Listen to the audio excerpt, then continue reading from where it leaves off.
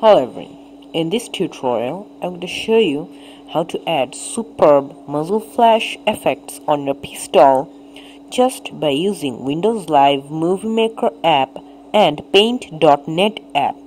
The Paint.net app is not the app of your Windows, it's another particular app. So, the Windows Live Movie Maker and the Paint.net app's link is in the description below and you can download it. Please note that Paint and Paint.net is two different apps. So let's start. First, I'll start Windows Live Movie Maker. And now I'll browse for the picture. And you have to give your personal video. So for example I'm giving this one. Okay. Now first you have to locate the position the timing when you are going to shoot. So for example I am going to shoot here at this point at 1.08 okay now edit and then split. Okay now you have to select where you have finished shooting. I finished shooting here. So again split. Okay now you have to go back again to where you will start your shooting. Okay. Now home and then take a snapshot. And save. Okay now here right click and remove the snapshot okay. Now let's go to your hard drive where I saved the snapshot okay. Now open with the paint.net app. These two are different. I'll open with paint.net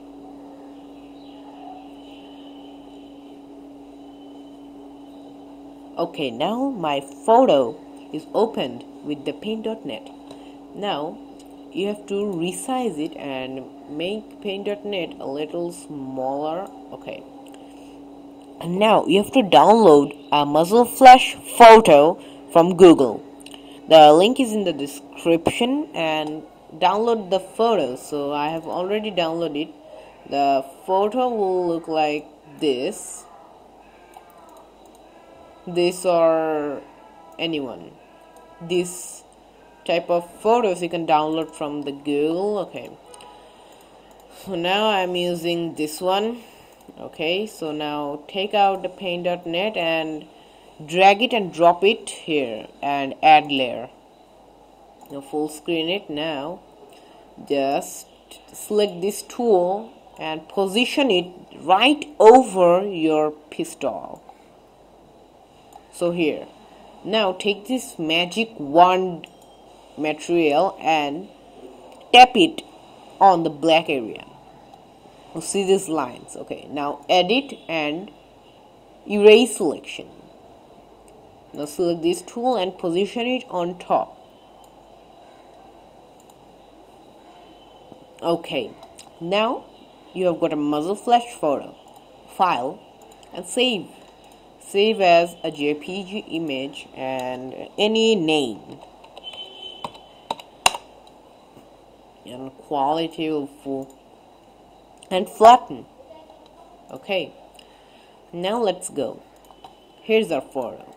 Now we'll open with movie maker and position the photo right before this one.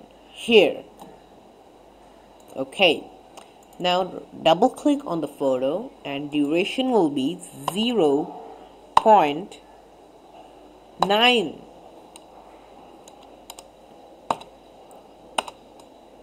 oh no. Okay. Now we'll see our video.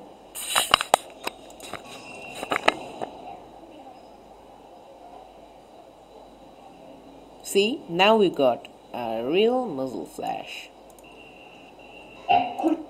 But we need some sound so now we'll add the sound. Here home add music. You have to download a gunshot music from google. So at current point i've already downloaded the download link is in the description again. And here's only my here's and click on it and music volume should be little much bigger okay? Uh,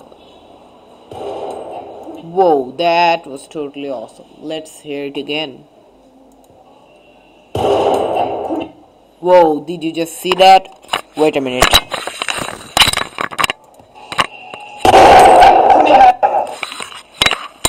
Wow that was a nice muzzle flash and save your movie. So there we're all done with the tutorial. This tutorial very nice okay. So if you have any inquiries about PCs and apps please leave in a comment below.